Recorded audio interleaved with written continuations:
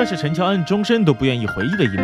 二零零六年的一档综艺，陈乔恩被逼脱掉了伴儿在男嘉宾意犹未尽的眼神中，愤怒地将内衣摔在了桌面上。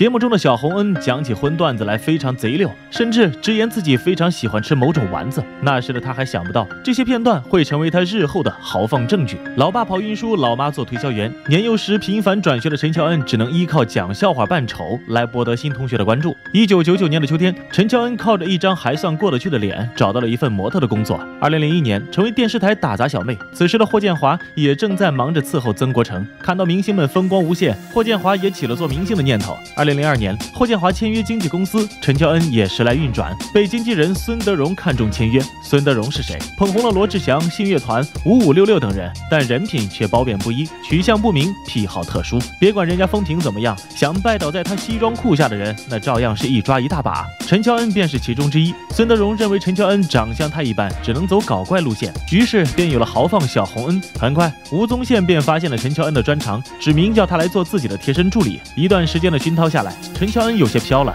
他想演戏，可孙德荣不愿意。随后便是长达一年的雪藏时期。此后的大半年，陈乔恩想尽办法找到了铁娘子苏丽妹，因为有着同样敢于老板叫板的遭遇，苏丽妹对他颇为欣赏，让他出演了《千金百分百》中的梁小凤。真是运气来了，挡也挡不住。陈乔恩一炮而红，顺便还收服了古装男神霍建华。公司规定不允许艺人谈恋爱，但情到深处，两人还是情不自禁的打扑克。二零零三年十一月份一天，月黑风高，两人戴上了帽子上街，先是买了一些贴身衣物。又买了几盒必需品，准备决战到天亮。照片一经曝光，公司勒令陈乔恩马上分手。恋爱脑上头的陈乔恩立即表示要爱情，不要事业。果不其然，陈乔恩再次被公司雪藏，而霍建华转身带着一年七部偶像剧的记录进军内地市场，事业蒸蒸日上，独独留下陈乔恩一人在台湾徘徊。许多年后谈及分手的原因，霍建华淡定地说道：“因为他要的太多，而我只是想要一份事业。当然，这并非霍建华和陈乔恩的结局。十几年后，他们还会有续集。经历了这段情伤后，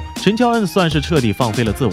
他终于明白，爱情都是狗屁，搞钱才是王道。向高层赔礼道歉，表示再也不相信爱情。二零零五年。王子变青蛙横空出世，陈乔恩总算压了同类型女演员林依晨一头。本以为是苦尽甘来，谁曾想狂热的明道粉丝认为陈乔恩配不上他们的哥哥，纷纷投诉女主角不行。这件事儿最终的结果导致陈乔恩再度被雪藏。这番操作惹怒了他，一不做二不休，和明道确认过眼神，火速在夜店上演了疯狂戏码。基吻门出现后，陈乔恩的事业直线下滑，后来还跟一个外国人谈起了恋爱。另一边的霍建华也不甘示弱，先是和叶璇传出绯闻，又曝光和林心如假戏真做。二零零八年，陈乔恩的事业迎来转机，一部《命中注定我爱你》直接让陈乔恩登上了偶像剧女王的宝座。凭借偶像剧成为金钟奖视后，前所未有。这就意味着和林依晨长达十年的争夺战，她必胜无疑。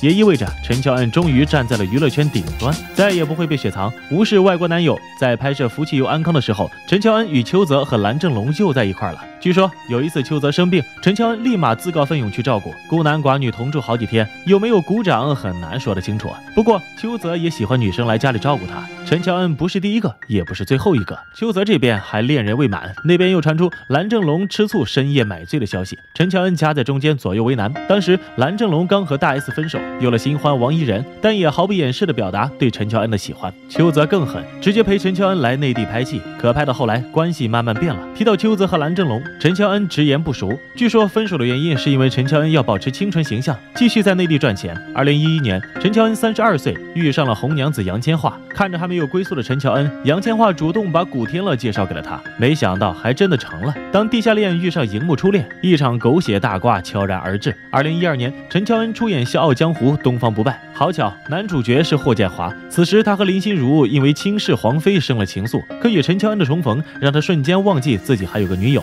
星星之火可以燎原，爱情死灰复燃了。二零一三年，陈乔恩暗戳戳的发糖，动态里的手表俨然是霍建华刚刚戴过的。可惜霍建华不仅传出绯闻，插足李晨、张馨予，更掉入了夜宿门。陈乔恩怎么能忍？果然，复合变成了一场笑话。二零一六年，一部《放弃我，抓紧我》让陈乔恩和王凯结下不解缘。陈乔恩妈妈更是直言王凯是女婿的最佳人选。就在大家期待他们的官宣时，陈乔恩又。出事了！有人爆料，东方不败姐姐和某个小鲜肉好了。与 W 姓小鲜肉夜读剧本，这个瓜一出，陈乔恩、王凯自然没了下文。霍建华索性接受了林心如，从官宣恋情到结婚仅用了两个月。而大龄未婚的陈乔恩更是收割了一茬又一茬的小鲜肉。二零一九年，夜店爱好者艾伦来到陈乔恩的身边，那么他们两个人后续又会有怎么样的故事呢？关注传奇君，咱们下期不见不散。